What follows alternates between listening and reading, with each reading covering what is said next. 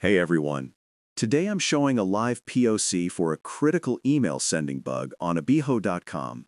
The registration endpoint lets you control the recipient and message body, allowing arbitrary emails from the site. Let's dive in, and don't forget to subscribe for more Bug Bounty POC.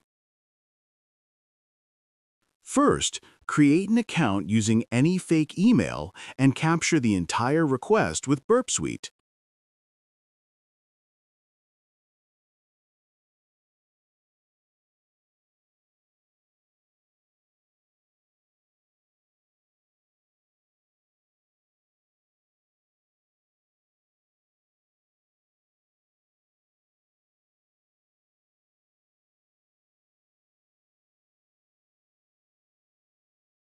Send the captured request to the Repeater tab.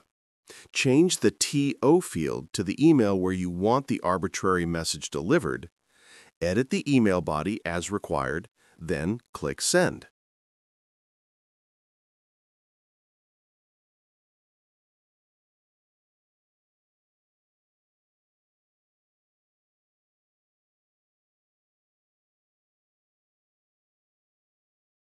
This is the proof.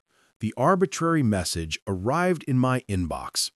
It shows the flaw can be abused to send anonymous emails or deliver malicious attachments, so it should be remediated immediately.